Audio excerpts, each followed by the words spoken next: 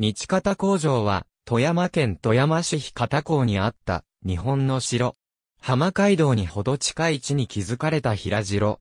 西に約400メートルの至近には、越中国大村城があり、その出城としての役目を負っていた時期もあったようである。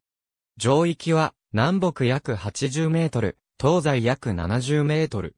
単角と見られ、上官といった趣か。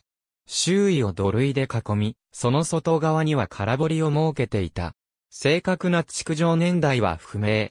江上十左衛門が寄っていたとも言い、大村城の城主靴和田氏が家老を入れて守らせていたとも言う。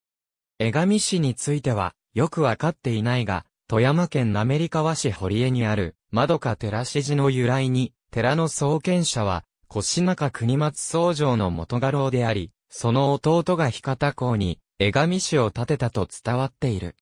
年代こそ合致はしないが、松倉城によっていた椎名氏と何らかのつながりを持っていた士族であった可能性がある。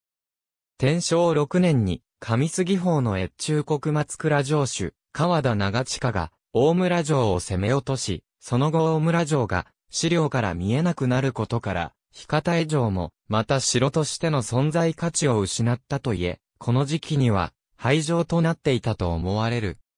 城域のほとんどは、両寺指示の境内となっているが、地域内には、土塁や空堀といった遺構が明瞭に残っている場所もある。